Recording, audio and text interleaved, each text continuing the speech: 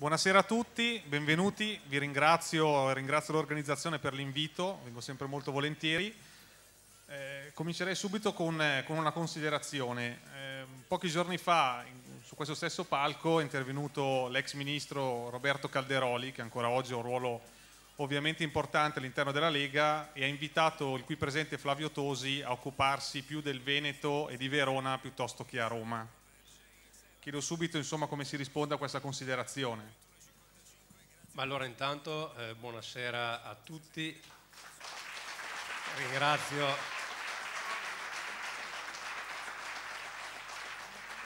ringrazio per l'accoglienza, ringrazio Nunzio per questo invito, ringrazio il vostro segretario provinciale, ringrazio anch'io e mi associo al ringraziamento per quegli splendidi 80 volontari che stanno ancora adesso lavorando a questa festa perché poi allora io vengo qua e parlo però ci sono quelli che lavorano e quindi vanno ringraziati loro.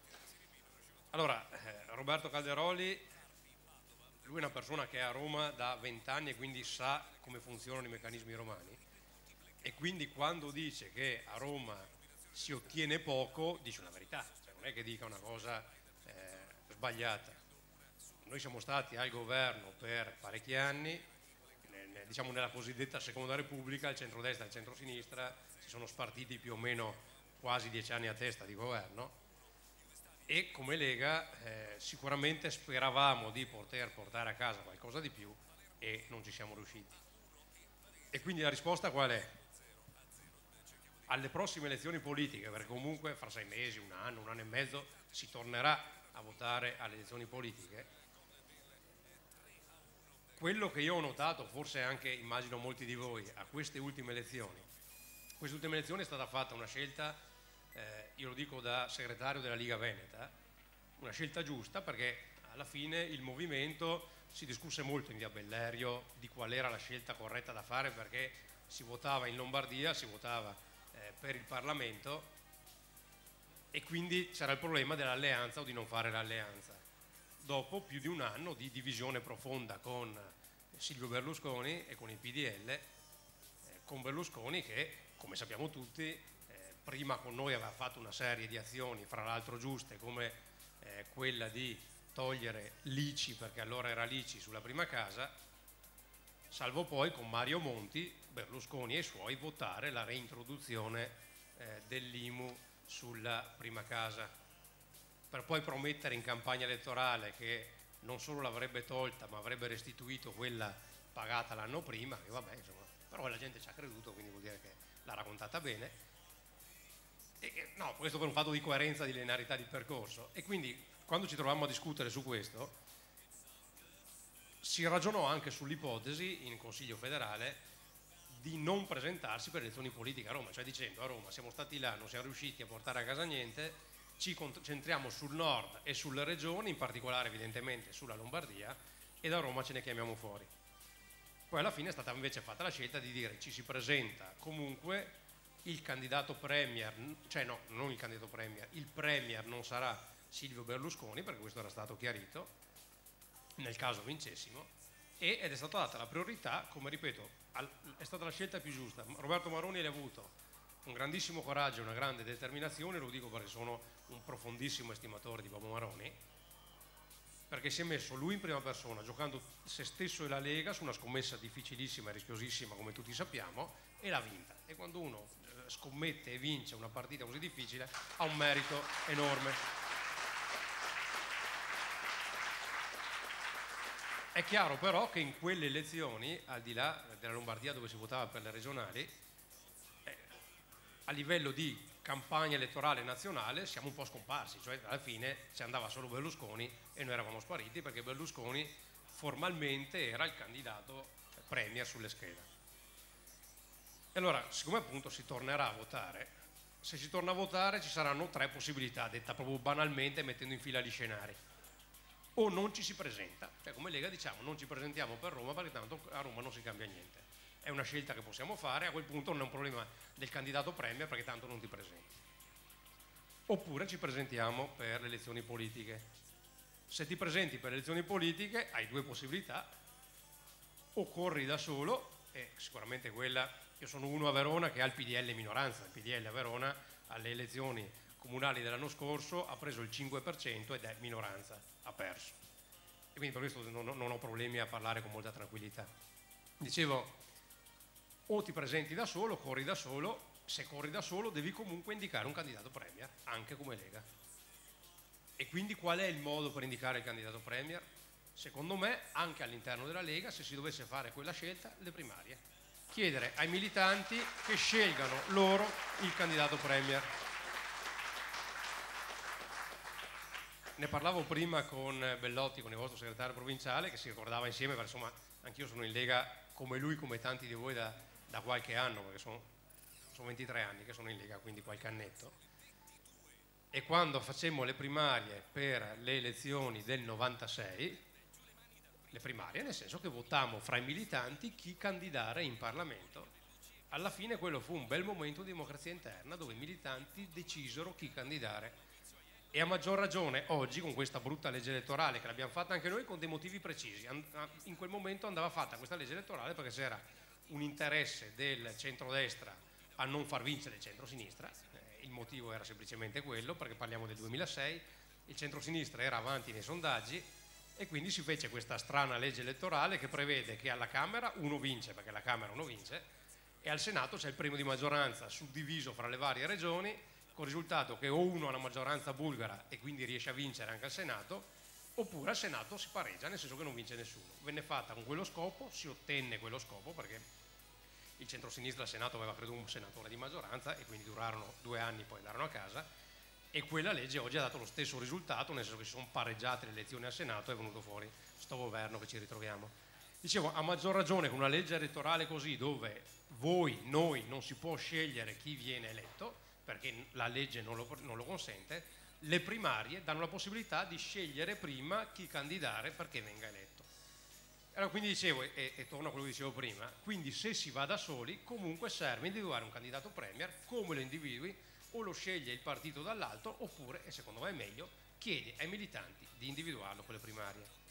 L'altra possibilità, ed è la terza possibilità, è quella di allearsi, cioè ti allei ancora col centrodestra, con, non lo so perché dopo bisogna vedere il PDL, quali saranno le, le, le trasformazioni, diventerà di nuovo Forza Italia, ci sarà il, il cambiamento davvero, non, non si sa. Però metti che va in coalizione con il centrodestra in quel caso come scegli il candidato premier? O si fa la scelta che talvolta abbiamo fatto per necessità di dire si va al traino, il candidato premier è quello del PDL per dire, con il risultato che in campagna elettorale scompari, perché comunque in campagna elettorale alla fine vedi solo il loro. Oppure lasci che lo scelga la gente e per farlo scegliere la gente cosa fai? Le primarie, quindi fai le primarie all'interno del centrodestra per vedere chi vuole la gente come candidato premier.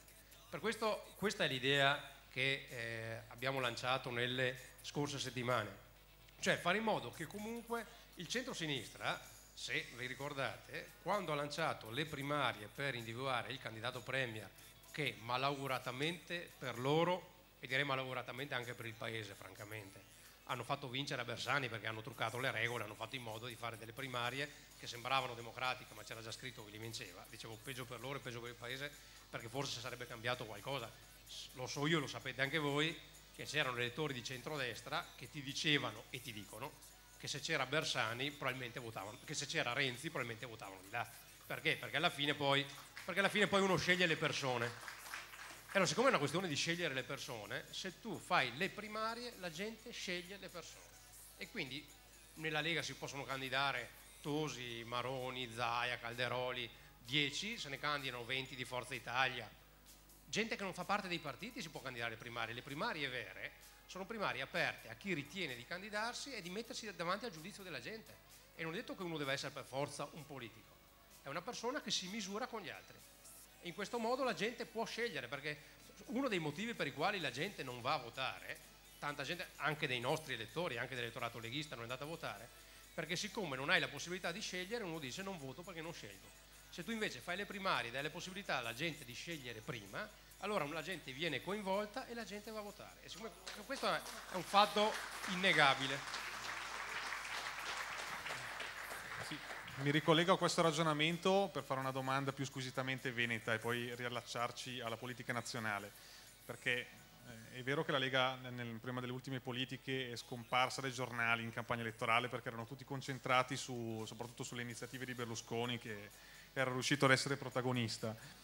Però c'è anche da dire che ci sono state molte critiche sulla gestione del partito in Veneto, sia a livello di candidature per le politiche, sia a livello di rapporti interni con numerose espulsioni, che alcuni hanno contestato, e poi ci sono state anche le amministrative che potevano segnare una svolta in positiva e in ripresa per la Lega dopo il cattivo risultato delle politiche e anche lì ci sono stati dei risultati oggettivamente deludenti, per esempio a Treviso. Mm, l'ultima osservazione un po' preoccupante è che leggendo i giornali in questi giorni, alcuni quotidiani locali hanno scritto che in Veneto c'è un po' insomma, di malumore anche all'interno della base, tanto che ci sarebbero molte sezioni commissariati, addirittura pochissime feste sul territorio chiedo è vero, non è vero, eh, e se, se, magari anche lei insomma, ha fatto qualcosa su cui insomma, forse tornando indietro farebbe delle scelte diverse. Allora, due minuti su queste questioni perché credo che interessino poco, nel senso che non sono di interesse eh, ampio, ma riguardano questioni interne, mentre invece penso si debba parlare dei problemi del nostro territorio, del paese e non appunto di Beghe. Ma comunque, due minuti su queste cose. Per quanto riguarda le feste in Veneto, io l'ho letto sul Corriere, eh, e da segretario della Liga Veneta è stato interessante leggerlo, io ho letto che noi in Veneto quest'estate facciamo solo due feste. Io ho l'elenco delle feste in Veneto, che sono 12, con le date e i posti, le sto pure girando e non ho capito bene il Corriere da dove abbia ricavato il suo dato. Ne ha scritto due, ma me l'avessero chiesto, mi avessero chiesto quante feste fa la Lega in Veneto, gli dicevo 12, gli mandavo il file con l'elenco, le date e i posti. Quindi io non so se ci sia qualcuno, forse c'è qualcuno che in buona fede, in malafede, gioca a far casino all'interno della Lega dicendo anche delle cazzate sui giornali, perché quella di scrivere il falso è fastidiosa, cioè se tu mi critichi Flavio Tosi, e io ci sto, perché la critica in politica ci, ci sta e mancherebbe altro, mica uno deve sempre parlare bene, però se tu scrivi il falso, scrivendo che ci sono due feste quando ce ne sono 12, dimostratamente 12, ecco questo dà leggermente fastidio. ovviamente difendo la buona fede dei colleghi. No, più che altro ho fatto questa domanda anche perché uno dei motivi di malumore o diciamo di smarrimento forse dell'elettore leghista, non solo in Veneto ma in generale, è perché non riesce a capire, e arrivo al succo della politica nazionale, come si possa conciliare la linea della, della Lega, insomma anche l'idea della macroregione e eh, il continuo evidenziare della oggettiva questione settentrionale con un progetto di tipo nazionale. Nelle ultime settimane, negli ultimi mesi si è parlato in particolar modo appunto eh, di lei eh, Flavio Tosi come eh, insomma, pronto per essere insomma, un leader nazionale e si è molto parlato anche della sua fondazione di cui si è scritto avere un nome del tipo Tosi per eh, Fondazione per l'Italia intera piuttosto che nomi insomma di questo tipo che ha molti elettori della Lega che quindi apprezzano un partito che al primo punto dello statuto ricorda e rivendica l'indipendenza della Padania ha creato un po' di smarrimento. Si riesce a fare chiarezza anche su questo punto perché è un altro elemento su cui insomma si discute anche no, nelle feste. Infatti, mi piace appunto che vengono fatte le domande che hanno anche un po' di vivacità così il dibattito è più interessante.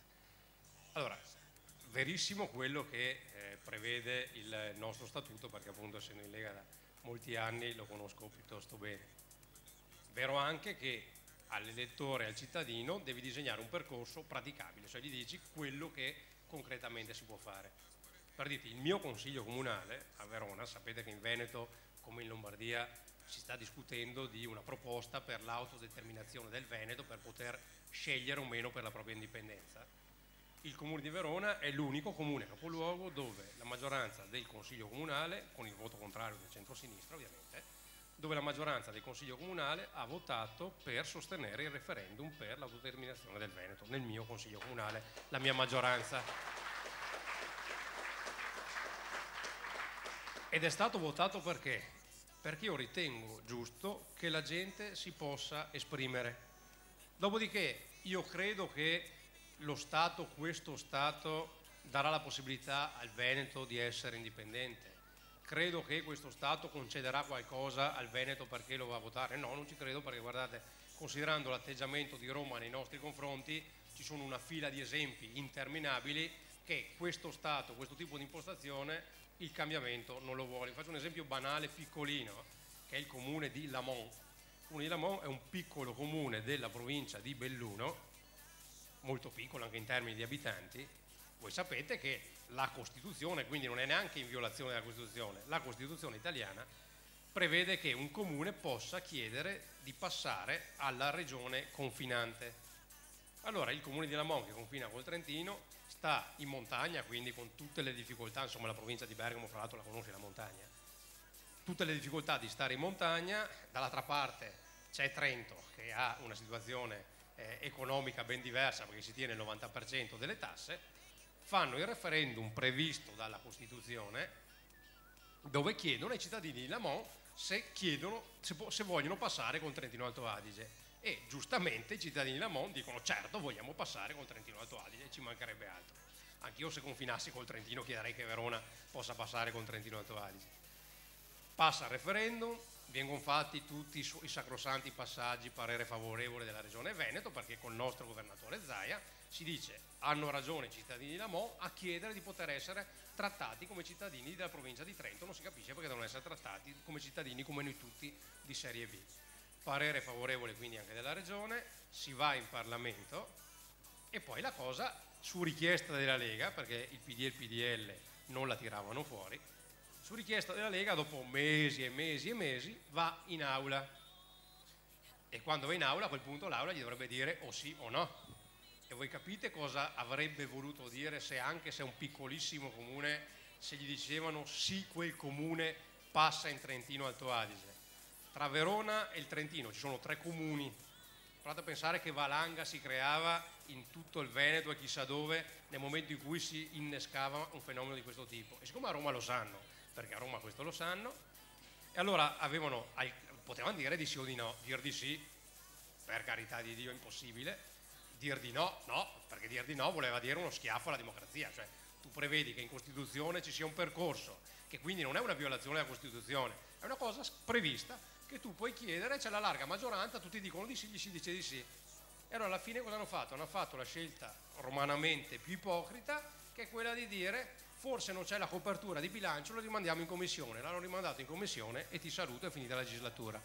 Allora, per questo dico, non mi aspetto che da Roma ti lasciano cambiare le cose, tant'è che è stata fatta la scelta di puntare sulle regioni e cercare di fare la lotta da qua, perché se la facciamo da qua con i comuni e con i governatori, forse riusciamo a portare a cosa qualcosa, perché da là cambiare è difficile, questo è oggettivamente.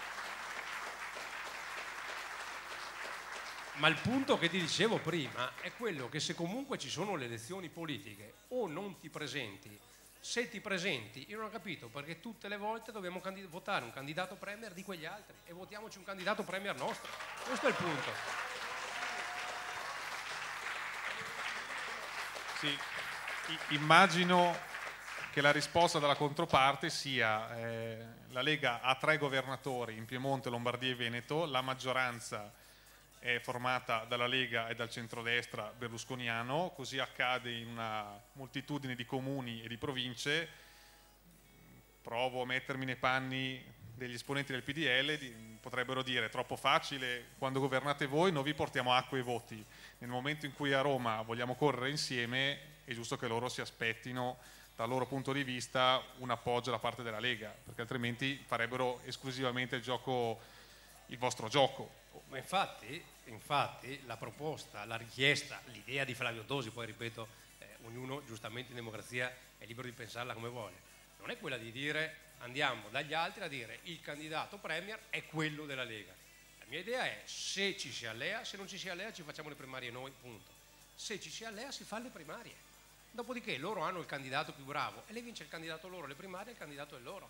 Ce l'ha la Lega il candidato più bravo, lo fa la Lega. Cioè, non è una imposizione, è una scelta democratica se loro, se loro rispondono se loro rispondono quello che dici te, se loro cioè rispondono quello che dici te, vuol dire che hanno paura che ci sia un candidato della Lega che prende i voti loro. Sì, sì, quello può darsi, fatto sta che anche per la regione Lombardia uno degli argomenti forti che Formigoni, quando sperava di avere una candidatura più amichevole dal suo punto di vista rispetto a quella di Maroni, diceva se la Lega osa tirare troppo la corda in Lombardia, noi facciamo cadere le giunte in Piemonte e in Veneto, per cui poi al di là del, del fatto che loro possono aver paura o meno, è comunque insomma un diciamo, ricatto, però insomma una reazione abbastanza comprensibile. Più che altro anche ammettendo che poi un candidato, un aspirante premier della, della coalizione sia un uomo della Lega. Davvero un aspirante premier della Lega potrebbe incidere cambiando le cose da Roma, dopo che la Lega, come lei ha detto proprio all'inizio, non è comunque riuscita a dare una svolta, pur essendo al governo, con anche ruoli importanti, numerosi ministeri, numerosi parlamentari, eccetera, eccetera. Cioè cosa cambierebbe al di là poi dei rapporti all'interno della coalizione? Allora, torniamo al discorso di prima. Scusate, ma si rischia di essere ripetitivi.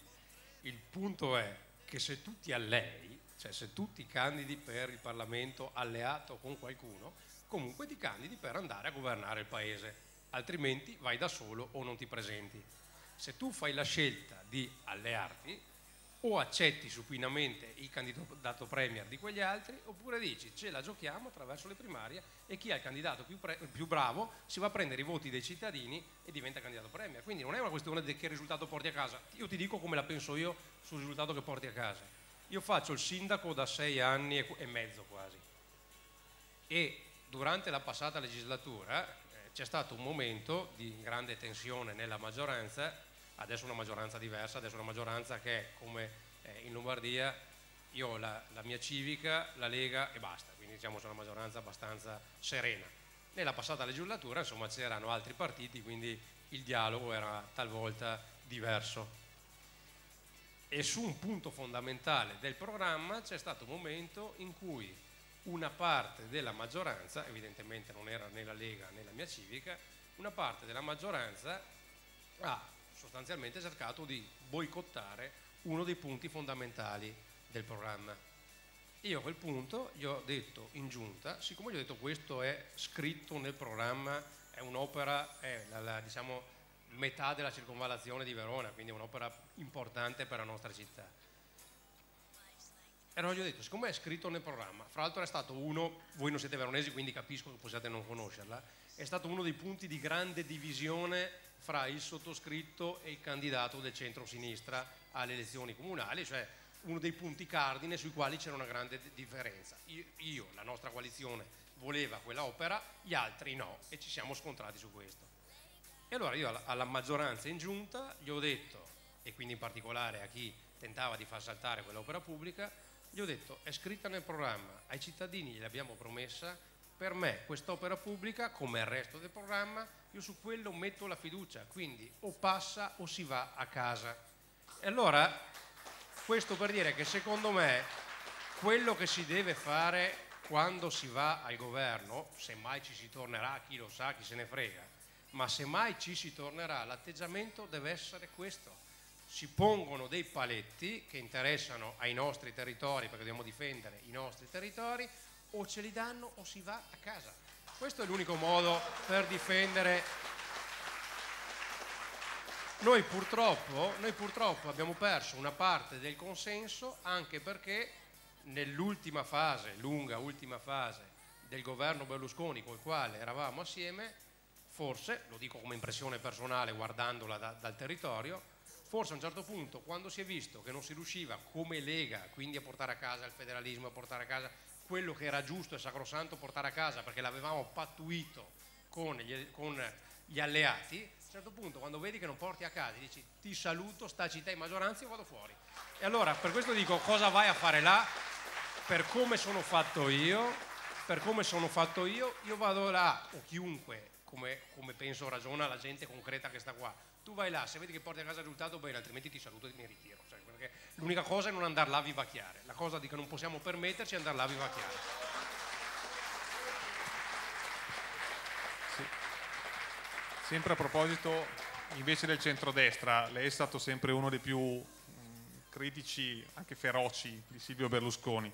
Adesso c'è questo centrodestra, questo PDL che adesso si sta trasformando e sta forse tornando un po' alle origini di Forza Italia che al di là delle vicissitudini giudiziarie di Berlusconi, che forse non si candiderà, insomma adesso bisognerà capire anche cosa, come andranno a finire le sue vicissitudini giudiziarie, intende impostarsi ancora in modo molto forte sulla figura di Berlusconi, che immagino, ma magari mi sbaglio, è anche un ulteriore motivo forse di imbarazzo e di difficoltà, soprattutto per i leghisti più diciamo, critici su un certo tipo di alleanza come lei.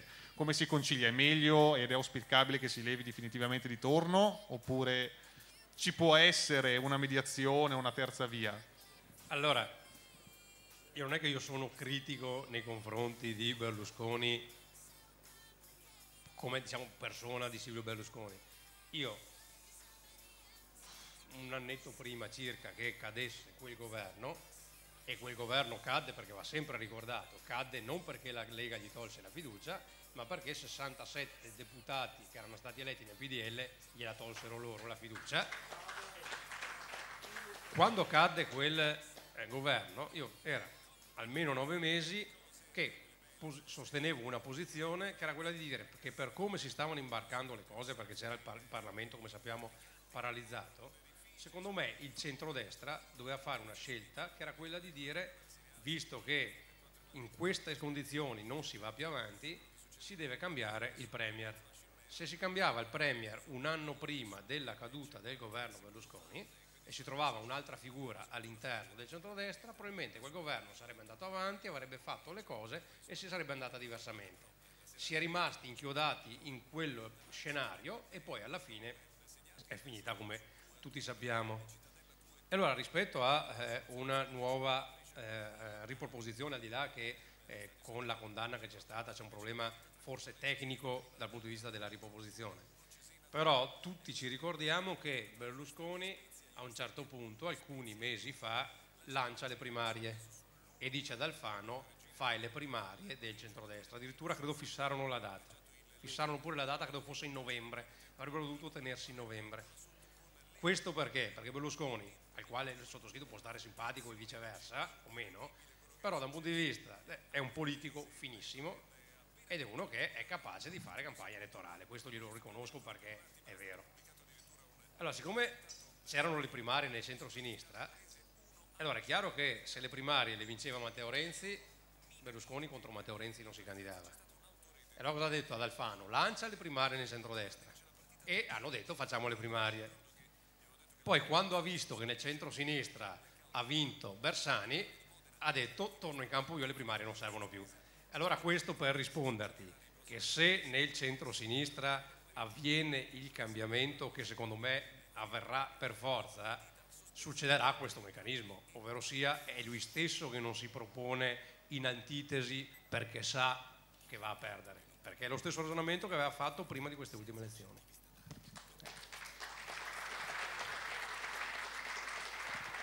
Adesso c'è da dire che è un po' la sfida della vita eh? cioè, per Berlusconi, il fatto di potersi comunque scendere in campo, di dare una forte impronta al centrodestra. E il fatto che appena dato l'ordine tutti i suoi colonnelli, anche quelli che sembravano diciamo, più vivaci o più diciamo, di, di, larghe vedute, siano subito eh, tornati sui propri passi dopo aver annunciato pubblicamente la candidatura alle primarie, forse non fa ben sperare sul fatto che ci possa essere con questo centrodestra berlusconiano la possibilità di dialogare, di trovare alternative, di avere una dialettica aperta per trovare davvero un candidato.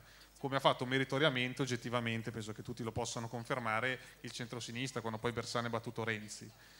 Cioè, c'è sempre un equivoco, poi so che forse su alcune aspetti ci, ci andiamo allora, a... Eh, il, il centrosinistra ha fatto, dal punto di vista della comunicazione, con le primarie, un'operazione straordinaria perché arrivarono quasi al 40% nei sondaggi in quel momento, eh, dopodiché appunto hanno fatto un'operazione non democratica perché le hanno fatte con una regola, addirittura col ballottaggio per essere sicuri che tutti gli elettori di Vendola poi votassero Bersani per far perdere Renzi, quindi le hanno costruite, se uno fa le primarie le deve fare aperte all'americana che chiunque va a votare chiunque, perché ci può essere un elettore di centrosinistra che gli piace il candidato di centrodestra, uno di centrodestra che gli piace il candidato di centrosinistra, in democrazia uno vota la persona che gli piace. Le primarie vere vanno fatte in questo modo. Però, detto, detto questo, eh, rispetto alla situazione attuale, intanto eh, l'errore che secondo me, e ti ribadisco quindi il, concetto di prima, l'errore che rischia di fare Enrico Letta che è l'errore che ha fatto Mario Monti. Mario Monti quando va al governo nel novembre del 2011, Mario Monti va al governo con una situazione devastata del paese, paese sull'oro del baratro, eh, lo spread altissimo, eh. dopo le cose sono ancora peggio perché stiamo peggio da allora, ma comunque perché sappiamo che non è stato fatto quello che serviva. E Mario Monti aveva una chance enorme in mano e ha sbagliato tutto, perché quando uno va su con quel mandato popolare, perché c'erano in quel momento, ce la ricordiamo qual era la situazione, praticamente era il salvatore della patria, tu dicevano vai te, fai qualcosa per salvare il paese. Allora Mario Monti cosa doveva fare? Secondo me, doveva andare là dicendo noi siamo un paese con il debito pubblico troppo alto, con la spesa pubblica troppo alta, per, fa, per, ridurre, per salvare questo paese non deve fare quello che lui ha fatto, ovvero sia massacrarci di tasse e poi alla fine abbiamo buttato i soldi alla finestra, deve andare là a fare un programma coraggioso a dire questo è quello che serve, vista bene lo votate, altrimenti si va a casa. In quel momento passava perché quello era il momento storico per come era messo il paese, per quella che era l'ondata di emozione popolare, Monti riusciva a cambiare le cose. Invece si è fatto, si è, infilato nelle pastoie del sistema partitocratico romano, tratta con questo, tratta con quello e ha fatto la scelta più facile, quella di dire facciamo un po' di altre tasse e tiriamo a campare. E allora l'errore che sta facendo, perché di fatto lo sta facendo Enrico Letta, rispetto alla questione Berlusconi è lo stesso ovvero sia lui comunque ha una maggioranza di governo e sa, come lo sappiamo tutti, quello che serve a questo Paese. Ridurre il debito pubblico, ridurre la spesa pubblica, sburocratizzare, fare una serie di riforme che non ve le elenco, le sappiamo tutte, cioè anche un bambino sa cosa serve fare. Allora l'errore che rischia di fare, anzi che sta facendo Enrico Letta, è questo, che sta lì anche lui a guardare la vicenda Berlusconi ovvero sia e Berlusconi viene fatto decadere, non viene fatto decadere e questi mi sostengono e questi non mi sostengono. In questo modo cosa succede? Che non fa niente e va avanti e non farà niente perché resterà appeso, resterà appeso a sta vicenda e l'Italia resta appesa alla vicenda Berlusconi. Quello che lui dovrebbe fare come capo di governo è dire questo è il programma, quello, questo è quello che serve al Paese, se vi va bene è questo, se no si va a casa questo deve farlo chi ha una responsabilità di governo, in maniera seria di fronte agli elettori. Vedo, sta proprio ragionando l'aspirante Premier. Infatti chiedo se A, a proposito no. insomma, della sua avventura... Io, io, io, ragiono da sindaco, che è diverso. No, beh, ma anche l'aspirante Premier, diciamo. Questo è lì poi che c'è anche il desiderio magari di arrivare. Eh, a proposito di questo, prima abbiamo affrontato velocemente l'argomento fondazione. Anzitutto, questa fondazione Tosi A non è un altro partito? Prima domanda maliziosa. Secondo, ma il nome, visto che si diceva che poi insomma a settembre ci sarebbero stati degli elementi in più, è davvero Tosi per l'Italia intera, è qualcosa di diverso? Allora. E poi cosa c'è dentro? Che cosa, mm, insomma, a livello di ciccia, di idee, di, di programma, insomma, se si può sapere qualcosa? Allora, il programma è ovviamente in maniera più articolata e con delle proposte insomma, precise, sostanzialmente per realizzare quello che è stato detto, perché siccome il sottoscritto le cose che vi ha detto le pensa come credo le pensiamo tutti noi, perché sappiamo quali sono i nostri problemi da vent'anni a questa parte, da quando si è iscritto alla Lega 23 anni fa, e quindi è chiaro che il programma è il sunto de- delle idee che ben conosciamo.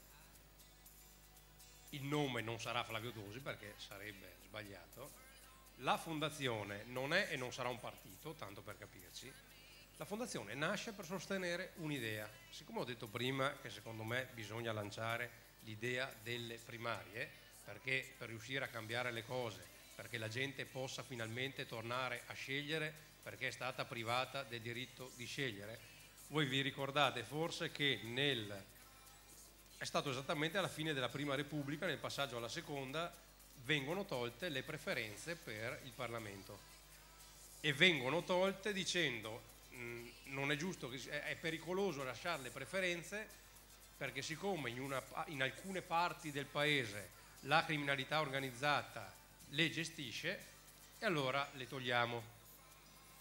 Il che è un po' paradossale perché se in alcune parti del paese la criminalità organizzata riesce a gestire le preferenze, devi mandare le forze dell'ordine e la magistratura a risolvere il problema. Non è che puoi togliere il diritto a tutti gli italiani di poter scegliere i propri eletti, vero? Perché... E, fra l'altro, in quelle aree cosa è cambiato? Niente, perché la, quel tipo di legami eh, fra la politica e il malaffare è un legame abbastanza consolidato e quindi anziché controllare le preferenze decidono direttamente chi mettere in lista, quindi alla fine non cambia assolutamente nulla. c'è una legge elettorale che non cambia e nessuno mette in discussione dal 93 a questa parte ed è quella per l'elezione dei sindaci. Perché dal 93 a questa parte è in vigore la presente legge per i sindaci, nessuno la critica, nessuno la mette in discussione, perché? Perché funziona. Perché prevede che la possibilità di governare, chi vince governa, e prevede che i cittadini possano scegliersi il sindaco e i suoi, i suoi consiglieri comunali. E allora per questo ti dico, servirebbe comunque un ritorno alle preferenze, che la gente scelga chi li rappresenta, perché uno degli effetti, perché la cosa che uno nota subito è quella che non scegli oggi con questa legge elettorale chi ti rappresenterà in Parlamento. Ma la cosa peggiore è un'altra, che è quella che dicevi tu prima, il discorso degli yes men. Perché se a Roma ti mandano i cittadini, cioè ti eleggono, ti scrivono quella preferenza, tu quando vai per i tuoi territori, per le tue vallate, fra la tua gente, per quello che fai là rispondi alla tua gente che ti dice oh io ti ho dato il voto e adesso mi dici cosa stai facendo. Ma se invece tu rispondi a chi ti ha messo in lista e non hai un merito preciso rispetto al territorio, alla fine quando ti trovi in Parlamento hai due scelte. O la scelta etica di dire io comunque ragiono con la mia testa e faccio quello che è giusto, oppure una scelta che è quella dello yes man, che dice siccome qualcuno mi ha messo qua, perché è meglio che per tornare qua ubbidisco al paron. Ecco. Eh, scusate il dialetto veneto, ma insomma penso che abbiate capito perfettamente il ragionamento. E allora l'antidoto per evitare questo è quello che la gente possa decidere. Si torna alle preferenze, chi è bravo, lavora sul territorio, si dà da fare in mezzo alle gente, è capace, dà delle risposte, si prende le preferenze, chi non è capace sta a casa. Questo è il, modo migliore per far scegliere. E le, primarie, e le primarie si ispirano allo stesso principio. La gente sceglie, perché è giusto che la gente in democrazia possa scegliere. È scandaloso che i partiti, io sono un dirigente di partito, ed è scandaloso che i partiti decidano non solo i candidati, ma decidano gli eletti. Ed è per questo che è giusto anche all'interno della Lega da ora in poi, se resta questa brutta legge elettorale, che ci facciamo le primarie, come dicevo prima, così almeno i militanti scelgono.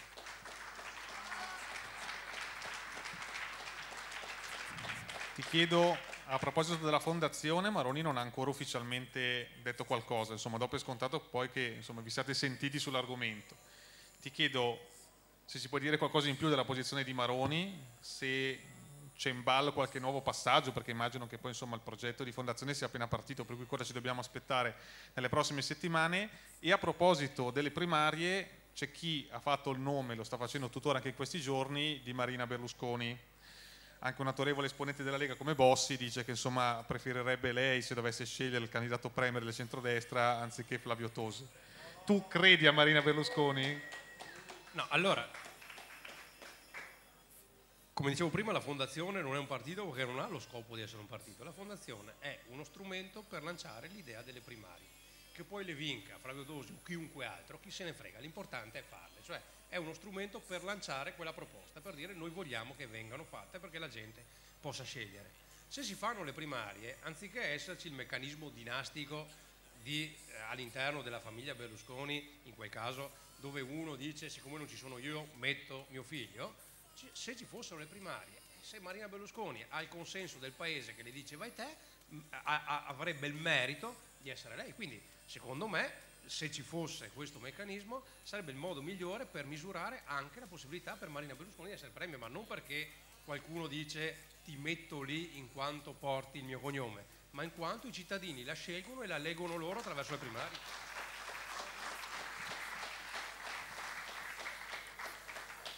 A proposito di primarie, prima ho fatto la constatazione di Bossi che ha parlato di Marina Berlusconi, invece d'altra parte ci sono alcuni esponenti come Gianfranco Rotondi piuttosto che Giorgia Meloni che invece si sono spesi in lodi nei tuoi confronti. Come hai fatto a convincere personaggi che sembrano insomma non essere proprio coincidenti con eh, eh, il programma e le sensibilità della Lega a farli insomma convergere sulla, sulla tua figura? Allora, io prima ero di là in... Eh diciamo nell'altra metà della, della Bergenfest. E eh, signore, è passato un signore che mi ha detto eh, io non la penso politicamente come voi, ma comunque la stimo per come amministra la sua città. E questo capita a me, capita a, a tanti sindaci della Lega, capita al nostro governatore Maroni, capita al, a Ettore Pigrovano, ai tanti sindaci, che c'è gente che li ha votati e non è che sia della Lega, li ha votati perché li stima. E questo non vale per Flavio Tosi, vale per i tanti buoni amministratori che abbiamo sul territorio. Ed è questo il punto fondamentale, cioè tu non è che devi pensare a uno schema dove chi è della Lega vota per forza Tosi, chi è... i movimenti politici, la Lega in primis, devono esprimere il meglio, perché se tu esprimi il meglio e candidi il meglio, ti vai a prendere il consenso non solo dei leghisti ma anche degli altri, perché per vincere questo è il meccanismo ed è, e questo è il, è il modo per governare bene. E a proposito di buon governo, adesso abbiamo parlato di fondazione, più specificatamente nei confronti insomma, della Lega e dell'azione politica della Lega. Cosa ci dobbiamo aspettare anche a livello di azione politica, visto che insomma, governa le tre regioni del nord, in attesa poi che si capiscano gli equilibri nel nuovo centrodestra, perché anche lì insomma, Maroni ha vinto le elezioni anche parlando di, di macro regione del nord. Eh, qualcuno si interroga su, su quando insomma, inizieranno a vedersi passi concreti su questo progetto.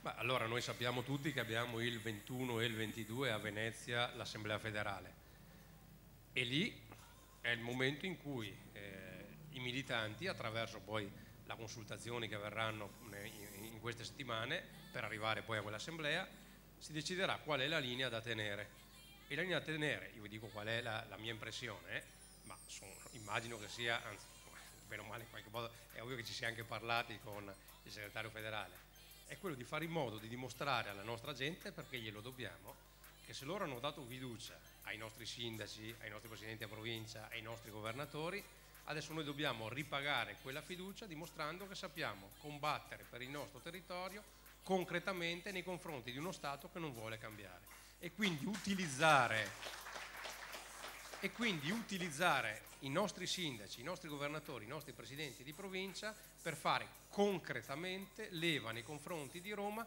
per costringere Roma a cambiare. Questo è quello che abbiamo fatto la battaglia per avere le regioni, mica per niente, vero?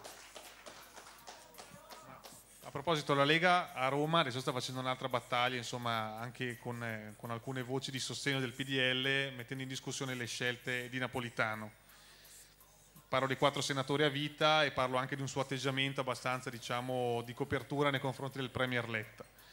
Chiedo di Napolitano perché insomma poi Tosi è sempre stato, eh, non è stato mai un critico feroce di Napolitano, anzi insomma spesso ci sono stati anche scambi di stima reciproca. È cambiato in qualche modo il rapporto tra lei e Napolitano, tra Napolitano e la Lega e in generale la sua percezione del Presidente della Repubblica? Allora, io sempre, cerco sempre di essere coerente e quindi di dire francamente quello che penso. E quando io venni eletto sindaco eh, ci fu una, polemica abbastanza anche eh, diciamo, eh, mediatica sul, per il fatto che non appesi nel mio ufficio la foto di Napolitano ma, poi, ma appesi quella di Sandro Pertini. Quindi quella di un Presidente della Repubblica che io avevo apprezzato e invece in quel momento Napolitano era stato eletto non da molto, sappiamo che era stato eletto con, per la prima volta non con un voto molto largo a livello di adesione parlamentare, ma con una forzatura del centro-sinistra che arrivò alla quarta votazione, se non ricordo, pur di eleggere Napolitano. E quindi secondo me era stata sbagliata la forzatura che è stata fatta perché il Presidente della Repubblica dovrebbe potenzialmente rappresentare tutti e non solo una parte, essendo Presidente della Repubblica.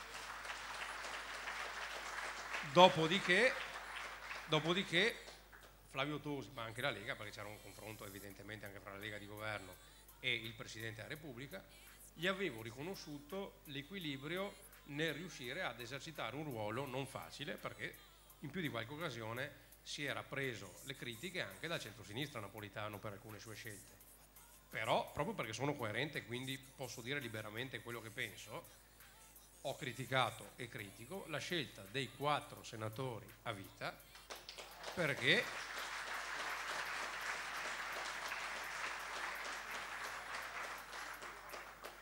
perché il motivo secondo me reale della nomina è quello che è stato detto da chi mi sta intervistando ovvero sia perché siccome al Senato i numeri potrebbero essere ballerini gliene andati quattro in più perché il motivo vero sta tutto lì un film già visto, eh? Un film già visto. Un film già visto, però dicevo è più sgradevole oggi per siccome quei quattro senatori a vita lì solo di emolumento costeranno qualcosa più di un milione, perché poi è il costo complessivo, più di un milione di euro all'anno.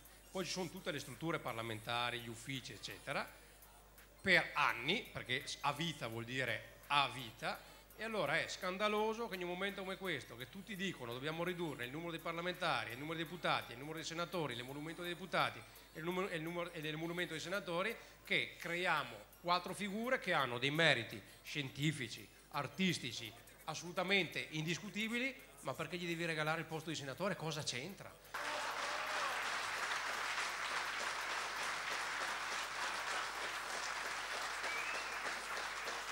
Io spendo, investo 2 milioni all'anno per l'integrazione, ovvero sia si spendono dei soldi per far sì che la gente straniera che è qua si possa integrare. Io ci metto i soldi. Sapete in sei anni quanti soldi ho avuto dal Ministero dell'Immigrazione, dell'Integrazione, da quando sono sindaco? Zero. Allora, per questo dico al Ministero della Propaganda, perché se non ci metti una lira, se non ci metti una lira, è inutile che vieni a predicare cosa devi fare per l'integrazione, perché l'integrazione la facciamo noi con i soldi vostri, perché quei soldi da Roma arriva niente e quindi e questa è la prima considerazione. L'altra, l'altra è che le questioni che pone il ministro Chienghe, e, posso, e posso dire quello che penso perché appunto non la offendo ma dico il mio pensiero, lei pone la questione del eh, reato di eh, clandestinità e dello Iussoli.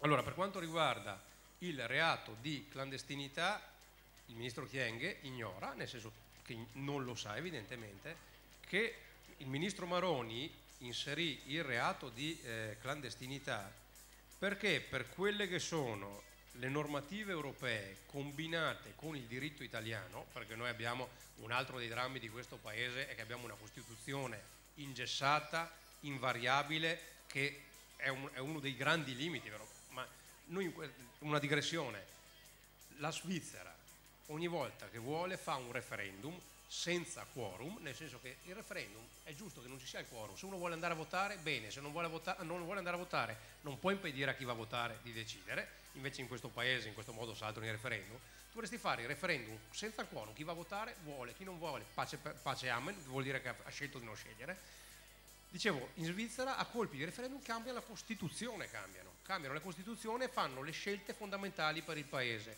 In Italia, per cambiare la Costituzione, che è quella che ha inchiodato questo Paese sotto tanti punti di vista, perché ve lo ricordate tutte le volte, mi fate una legge e uno ricorre alla Costituzionale e la fa cadere, compresa le leggi sull'immigrazione, per cambiare la Costituzione devi fare il doppio passaggio Camera-Senato, due volte sì da una parte e dall'altra devono passare almeno sei mesi, quindi ci vuole almeno un anno, è un anno, è un anno, vero? Cioè, è un tempo interminabile per l'economia e per la società e se per caso fra Camera e Senato cambiano una virgola devi rifare il passaggio.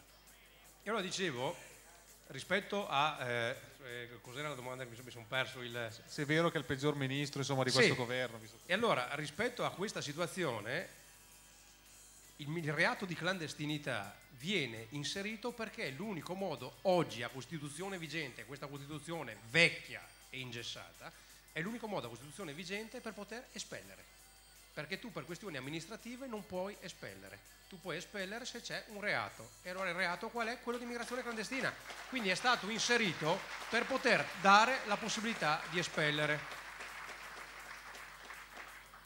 E quindi questa è la prima questione. Tant'è che adesso mi viene da ridere a leggere le dichiarazioni del mitico, mi pare sia Schulz, sempre lui è un grande, del mitico Schulz che adesso, che adesso, a distanza di molti anni dove l'Europa ha scaricato e scarica tuttora sull'Italia l'immigrazione clandestina, ha dichiarato il mitico Schulz doverosa una legge europea sul tema dei migranti. Alleluia, cioè adesso, dopo che ce li siamo sorbiti noi per anni, tutti, perché noi siamo diventati la porta all'immigrazione clandestina, dopo che l'Unione Europea condanna Malta, che Malta dice prenditeli da Italia e noi generosamente ce li andiamo a prendere, dopo che il resto dei paesi europei altrettanto generosamente ci chiudono le frontiere a 20 miglia perché alla faccia del trattato di Schengen, quando eh, c'era l'ondata di migranti che andava in Francia, la Francia ha detto ti saluto Schengen, chiudo le frontiere e ve li prendete indietro voi, a proposito di Europa. E allora in un contesto come questo, in un contesto come questo noi non possiamo permetterci immigrazione clandestina, oggi non possiamo neanche permetterci immigrazione, vero?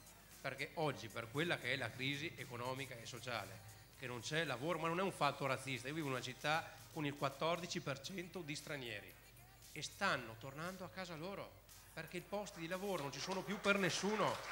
E allora un governo serio, un governo serio, un governo serio analizza il fenomeno e lo governa.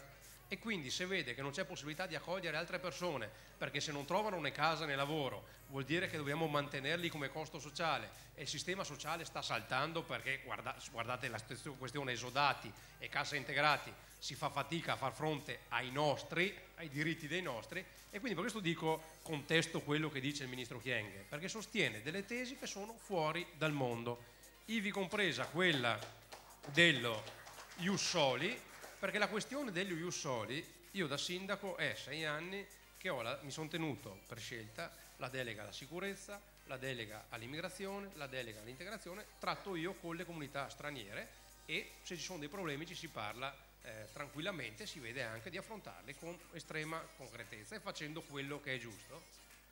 Non ce n'è stato uno, uno, che sia uno, che sia venuto a dirmi a me interessa avere la cittadinanza prima o votare prima, non gli interessa. Allora interessa provare a integrarsi, mandare i figli a scuola, cercarsi un lavoro, mettere su famiglia e avere una casa. La questione della cittadinanza anticipata è uno dei dogmi della sinistra che non c'entra nulla con gli interessi degli stranieri.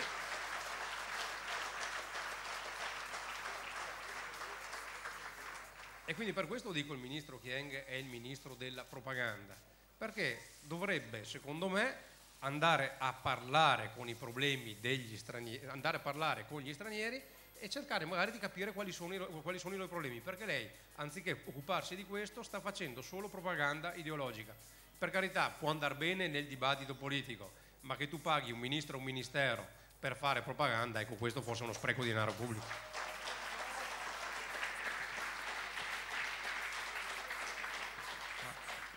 Sempre per rimanere nel campo del centro-sinistra, anche Maroni nei mesi scorsi aveva detto Tosi è il nostro Renzi, è il Renzi del centrodestra, intendendolo come figura insomma, capace di ammodernare di mandare a casa un po' delle vecchie figure che da anni popolano la scena politica, eccetera, eccetera. E chiedo se A si riconosce in questa definizione e B in che cosa le sue idee, le sue sensibilità sono simili a quelle di Renzi e che cosa insomma vi divide in modo inconciliabile.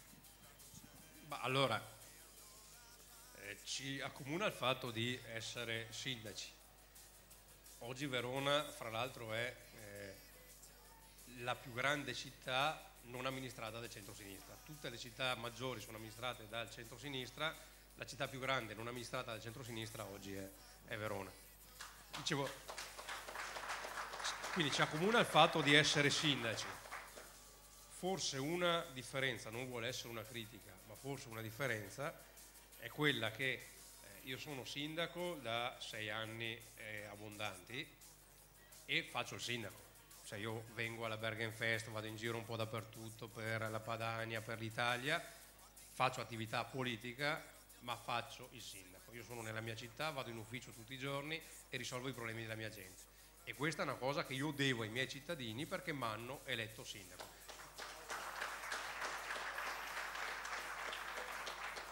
E forse, e forse, e forse, tant'è che Matteo, che era un ragazzo intelligente, oggi ci è un po' tornato dicendo adesso mi ricandido, forse adesso lui sta ritornando a preoccuparsi eh, di amministrare Firenze. C'è stato un periodo un po' lungo, un po' lungo, dove Matteo forse del suo ruolo di sindaco forse si è occupato molto di altre questioni e un po' meno del ruolo di sindaco. Io penso che se tu chiedi ai tuoi cittadini di fare il sindaco hai il dovere prima di tutto perché prendi lo stipendio da loro di dare delle risposte ai tuoi cittadini.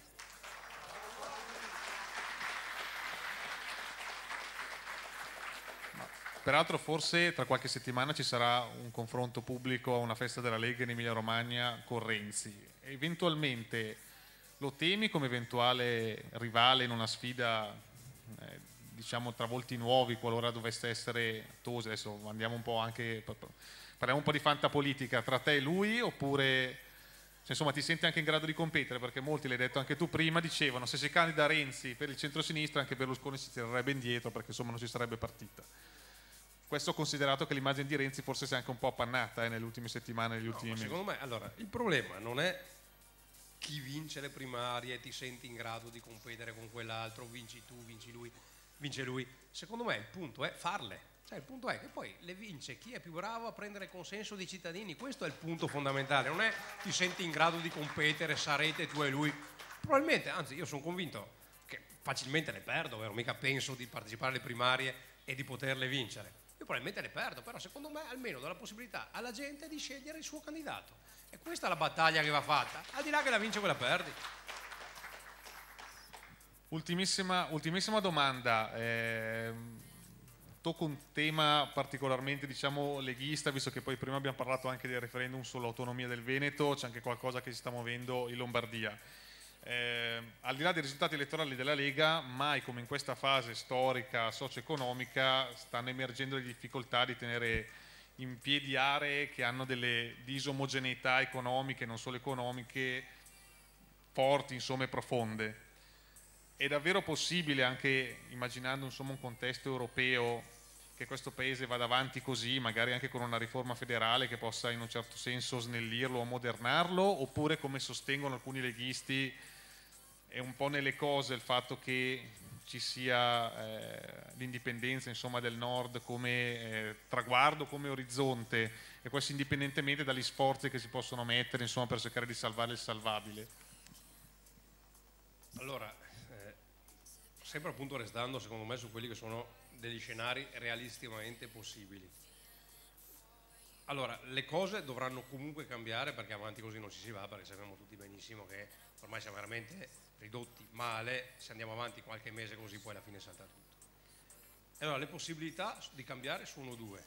Allora, oggi a Costituzione vigente, la Costituzione di cui parlavamo prima, un percorso per la divisione in qualsiasi forma del Paese, oggi a Costituzione vigente, non è possibile. Perché la Costituzione recita che l'Italia è una indivisibile, quindi non c'è un percorso democraticamente possibile per arrivare alla divisione del Paese.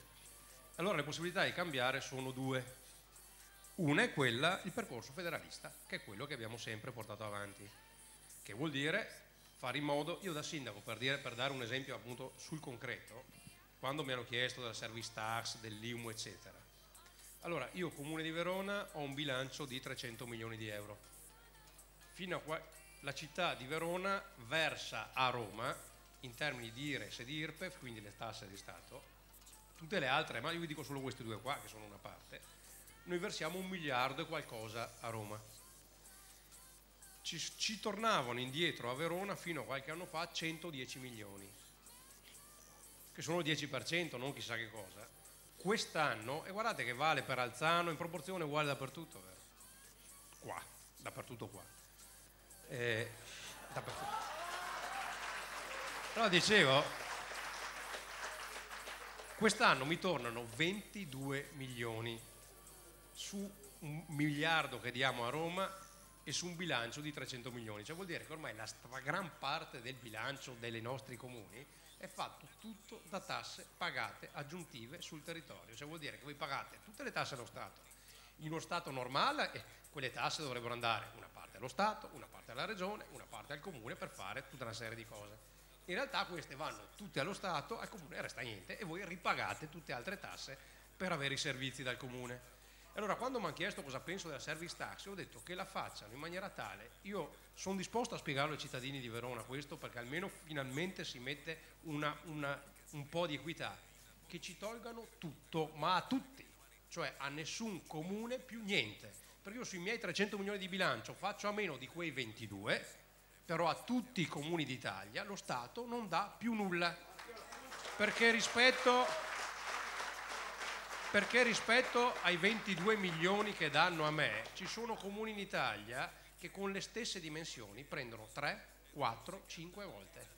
E allora, piuttosto che una situazione di iniquità del genere, almeno, e questo lo Stato risparmierà qualcosa, ma almeno costringe delle amministrazioni che non sono virtuose, che hanno assistenzialismo, che hanno spreco, che hanno clientele, a tirarsi sulle maniche e amministrare bene, costringono anche chi amministra male ad amministrare bene. E quindi dicevo, o c'è questo tipo di percorso federalista, cioè costringere chi spreca a non sprecare, e ci sono degli esempi, ma ne avete parlato anche in queste serate, li sappiamo benissimo tutti, e questo è l'unico modo attraverso il quale forse, forse si cambia, perché dico forse, perché bisogna vedere se cambia in tempo, perché se non cambia in tempo salta tutto.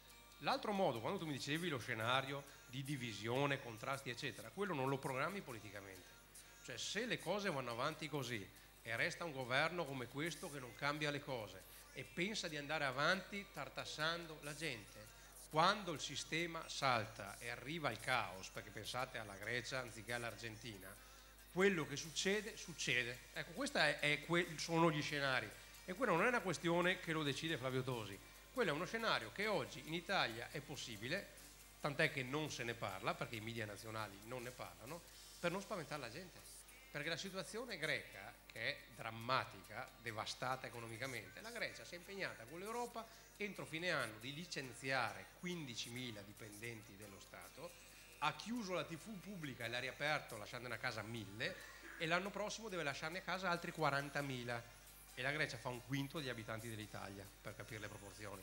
Allora per questo dico, o l'Italia cambia, ma non perché noi si decide un percorso di divisione, o cambia democraticamente facendo in modo che chi oggi spreca i nostri soldi, le nostre tasse, finisca di sprecare, o l'Italia cambia perché salta tutto. Questi sono i due scenari possibili.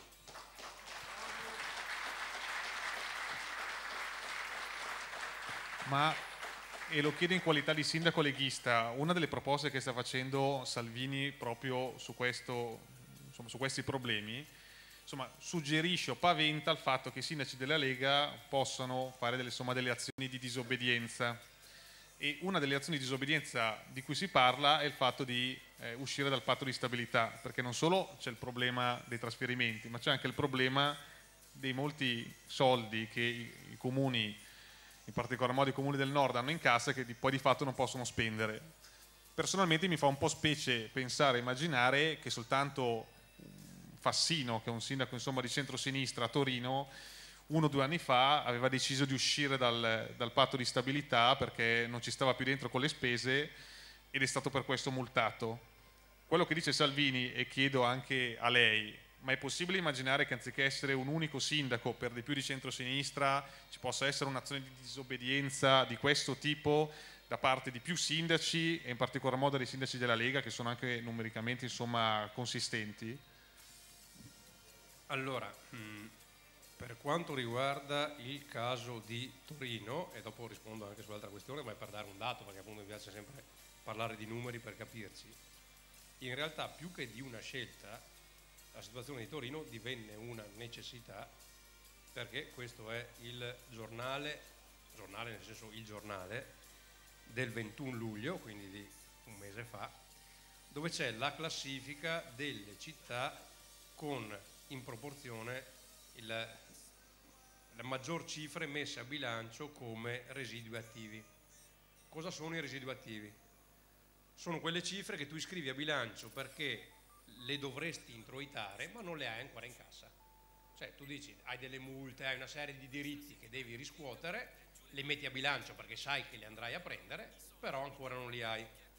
Il problema è che i residui attivi devono essere veri, cioè tu sai che li andrai a prendere o al limite puoi averne magari una piccola parte che forse non li prenderai, ma comunque deve essere una cifra compatibile col bilancio perché altrimenti c'è il rischio, e in alcune realtà italiane è così, c'è il rischio che di fatto tu hai il comune che è in dissesto e quindi per non dichiarare il dissesto tu dichiari un residuo attivo altissimo, cioè dici io prenderò questi soldi, non li prenderai mai, è sostanzialmente un falso bilancio, però in questo modo formalmente hai il bilancio in piedi e le città d'Italia con i residui attivi, ripeto, il giornale del 21 luglio, la classifica è Comune di Roma 5 miliardi, 5 miliardi dichiarati di residui attivi. Il secondo comune d'Italia per regime residui attivi è Napoli con 2 miliardi e mezzo. Il terzo comune d'Italia per residui attivi è Torino con 1 miliardo e 100 milioni. Dopo gli altri sono Reggio, Catania, Palermo, Messina, Salerno, Lecce, Bari. Ecco. Ho solo letto il giornale, eh, non è che ho detto una valutazione personale. Allora, ci ho detto, detto, quello che dice Matteo Salvini è proprio è quello il punto fondamentale, cioè se un comune sfora il patto di stabilità, lo, allora se un comune va in dissesto arriva a Roma e paga perché è quello che succede abitualmente, ci sono alcune regioni dove lo fanno in maniera sistematica perché tanto dopo qualcuno arriva lì e paga il debito. Se un comune virtuoso sfora il patto di stabilità, arriva lo Stato centrale e ti bastona. Se tre regioni virtuose e 500 comuni sforano il patto di stabilità, a quel punto si cambia il patto di stabilità, perché a quel punto diventa un po' difficile per Roma fare... E per dirvi in concreto, e per dirvi in concreto, sempre, e questo lo faccio io, ma lo fanno tanti altri colleghi sindaci, Siccome oggi, per come non funzionano le cose in Italia, il bilancio di previsione di quest'anno verrà, il bilancio di previsione dei comuni di quest'anno verrà portato il termine per approvarlo a novembre, ovvero sia i comuni avranno tempo per approvare il bilancio preventivo 2013 entro novembre 2013, cioè praticamente quando dovreste approvare il bilancio preventivo 2014. E perché? Perché siccome continuano a cambiare le regole, anche lì non si capisce più un cazzo di quello che fanno a Roma, anche perché fanno i provvedimenti, tu li leggi sul giornale e non c'è il testo, vero? Cioè nessuno sa cosa c'è scritto, si trovano Consiglio dei Ministri, trattano, dicono le cose e non c'è nemmeno il testo scritto, queste sono delle cose veramente da, da Repubblica delle Banane. E allora, siccome siamo, eh, siamo così, questo è l'Italia oggi dal punto di vista della burocrazia è la Repubblica delle Banane. Allora, con una situazione come questa, i comuni come fanno ad amministrare? Una possibilità è non far niente. Cioè tu dici, c'è il patto di stabilità, non ho il bilancio approvato, ma non per colpa mia, sindaco, amministrazione, che non sono capace di approvarlo, perché non posso. Non posso perché siccome non so la questione IMU com'è, non posso fare il bilancio e quindi non, lo, non, non faccio nulla, non spendo nulla. E quella è una possibilità che uno a norma di legge, così si tutela, si para il culo e, e, e non fa nulla. L'altra possibilità, che ripeto non la fa solo Flavio Tosi, la fanno tanti altri colleghi, è quella che il sindaco e la giunta si assumono la responsabilità loro. Tu vai in giunta settimana dopo settimana con delibere, con impegno di spesa, dove il tuo responsabile della ragioneria ti dice guarda che tu questa delibera non la potresti approvare perché il patto di stabilità non, la, può, non, la fa, non, non la prevede e perché tu non hai approvato il bilancio preventivo. Ma siccome io il fatto di non aver approvato il bilancio preventivo non è colpa mia ma dello Stato centrale. E il patto di stabilità è un vincolo stupido che mi mette lo Stato centrale. E io devo amministrare la mia città perché rispondo ai miei cittadini, noi è settimane, ripeto non è Flavio Tosi, sono tantissimi altri colleghi che settimane dopo settimane e mesi che andiamo in giunta con delibere dove c'è il parere negativo della ragioneria che ti dice non potresti approvarla e noi la approviamo perché quei soldi li abbiamo e li spendiamo. E quindi questi sono i presupposti, sono i presupposti per arrivare alla conseguenza di prima perché se alla fine ci costringono, se alla fine ci costringono, perché ci stanno costringendo, sforeremo il patto di stabilità in massa perché noi non possiamo non amministrare le nostre città per colpa dello Stato centrale. Quindi entro la fine dell'anno potremo vedere delle iniziative concrete di questo tipo. Eh beh, certo, il patto di stabilità tiri la riga il 31 dicembre. Quindi. Ultima cosa, eh, ringraziando il pubblico ovviamente e Tosi per la, per la partecipazione. Vorrei chiudere dando la possibilità di mandare un messaggio affettuoso di saluto sia a Calderoli che a Bossi, visto che spesso si è parlato di polemiche nelle scorse settimane, allora, negli ultimi so mesi. Che voi, che voi, nel senso non, non te personalmente, no, senso, io l'ho presa alla larga. No, eh. infatti, io dico che i mass media nazionali si godono a scrivere delle polemiche interne a chi sta in questa sala e soprattutto a chi sta fuori da questa sala interessa che noi risolviamo i problemi delle nostre comunità e delle beghe interne non gliene frega nulla.